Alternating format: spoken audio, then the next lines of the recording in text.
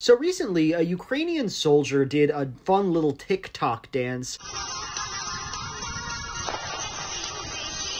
And a number of conservative weirdos decided to get mad at it. You know, the quartering writes, give us our money back. Laverne Spicer writes, we're paying $120 billion so they can do TikTok dances. Did they learn from the TikTok nurses? Some guy named Brando writes, it's the TikTok nurses all over again. It was tone deaf then and it is now tone deaf. You know, go fuck yourself. What are you talking about? So I think it's tempting to look at these tweets as kind of ridiculous, uh, nonsensical, partisan quackery, right?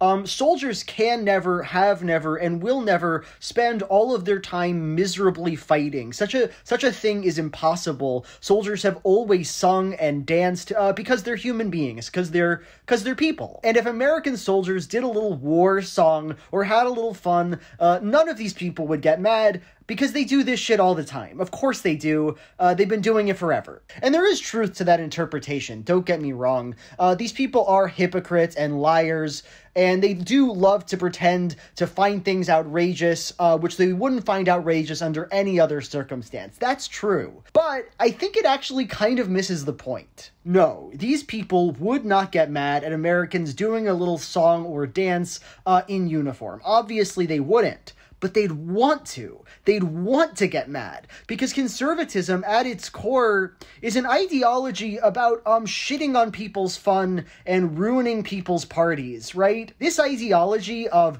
uh TikTok Ukrainian woman can't dance is exactly the same as the ideology uh, that you should be working every minute that you're at your job. That if you if you have time to lean, you have time to clean. It's this kind of a mindless obedience to torturous, unfun, uh, laborious things uh, that defines conservatism. To be clear, though, because I didn't clarify this before, it's it's not just about pleasure um, universally. It's about uh, unsanctioned pleasure. It's about pleasure that they didn't sign off on, right? You know, if if a big beefy um, strong man did this dance, they'd be fine with it because they'd recognize that he kind of gets to do what he wants. It's the fact that this is a young woman. It's the fact that she's small. It's the fact that this has some relationship to TikTok and youth culture. Uh, that sets them off, that makes it inappropriate and deviant in some way. The point here is that there is pleasure and joy in depriving people of things they like when you have power over them.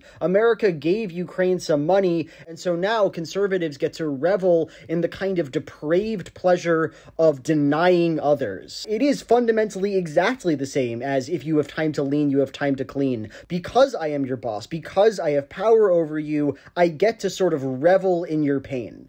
Um, okay, just now that we have that clear, bye.